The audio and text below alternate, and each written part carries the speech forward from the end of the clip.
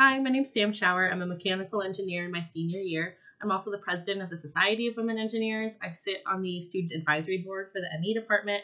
I'm also a peer ambassador for the College of Engineering, and I do research as an undergraduate. One of my favorite things about being at Boise State is how supportive all the staff and faculty are. They've been incredibly helpful to me throughout my entire undergraduate, whether it's needing help in a class or getting connected to outside class opportunities. So I hope to see you all at Boise State next year.